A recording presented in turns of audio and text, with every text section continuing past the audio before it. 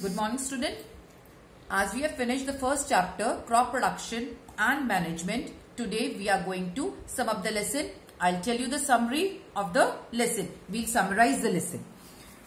Crop production and management. First of all, we have studied what agriculture is. Then, what are crops?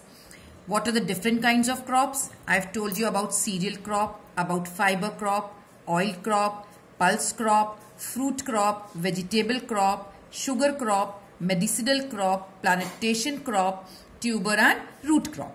Now, these crops are classified on the based basis of the season on which they are grown. They are Kharif and Rabi. They are classified into Kharif crop and Rabi crop. Kharif crop is sown in the month of May and June and harvested in the month of September and October. Examples are paddy and groundnut. In the same way, Rabi crops are sown in the month of September and October and they are harvested in the month of March and April. And these crops are wheat and pulses. Now, a farmer has to perform certain agricultural practices before sowing the seeds. So, the first practice is soil preparation. A farmer has to prepare his soil, the field, before sowing the seeds. In soil preparation, he has to plow the field and after plowing leveling is done with a seed leveler.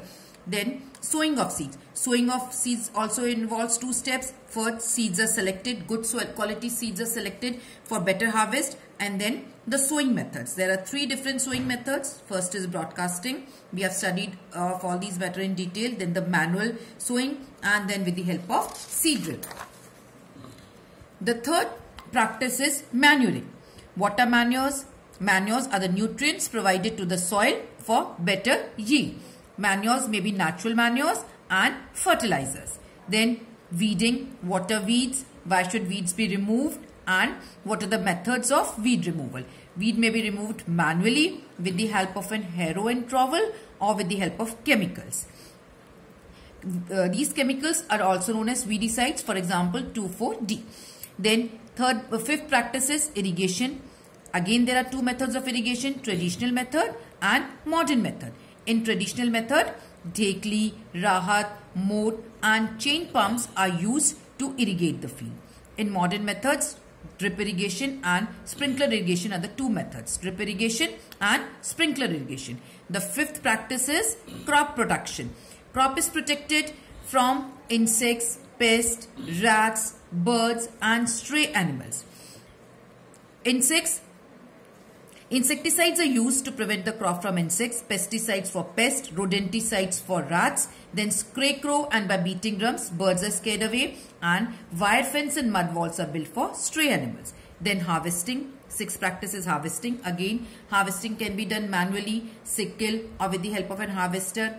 Then seven practices separation of seeds. seeds are separated by threshing and winnowing. The last practice is storage of the produce. The produce is should be stored very carefully. It is stored in bins or in godowns using uh, sacks and in large containers known as silos. So these all practices a farmer has to done before sowing and after harvesting. This finishes our first chapter. Thank you.